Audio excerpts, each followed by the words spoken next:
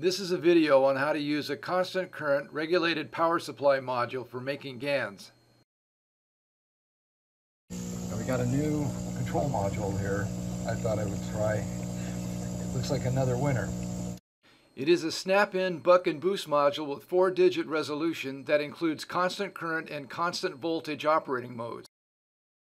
Plus the low end of its output range is 0.5 volts, which is just right for making MagRav GANs. It needs a DC power source between 5.0 and 32 volts. I'm using a 12 volt AC adapter that's rated for 1.18 amps. This is an inexpensive module that cost me around $12.50 each. It's got a rotary encoder, uh, you know, switches for selecting the mode, whatever. And the red light there showing that it's in constant current mode. I got it running for a quarter of an amp.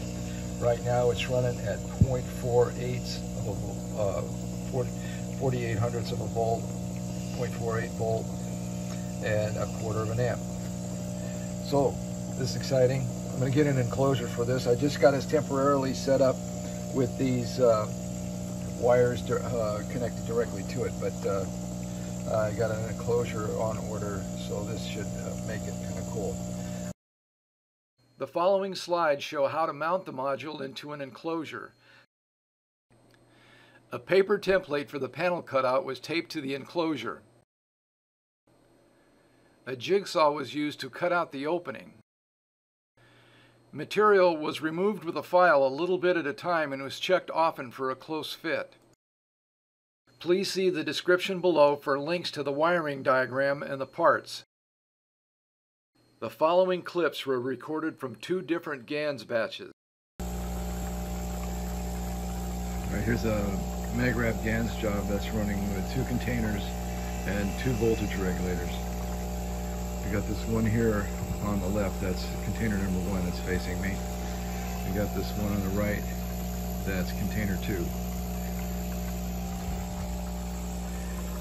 Okay, so this container one is running at uh, 0.71 volts at uh, 0.375 amp. That's uh, 3 eighths of an amp. This one here is running at uh, 0.82 volts at uh, 0.375 amp. And the job has been running for a little less than two hours. Uh, so anyway, that's the setup. The next clip shows how to change the constant current setting. I think it's slowed down a little bit. So I'm going to bump it up to a half an amp. So I'm just going to go into the settings here. All right, so here's what I'm going to do. Go down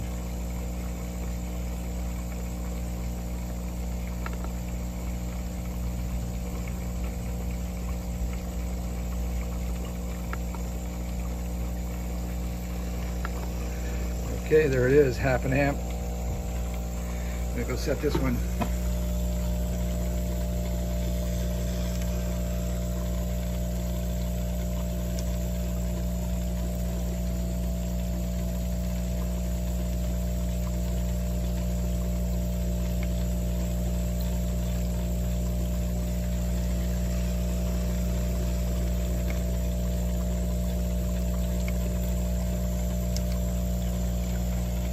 Okay, there it is, half an amp.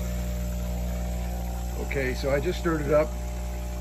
I'm going to set the uh, timer for 30 minutes and check it again. I hope you liked the video. Thank you for watching.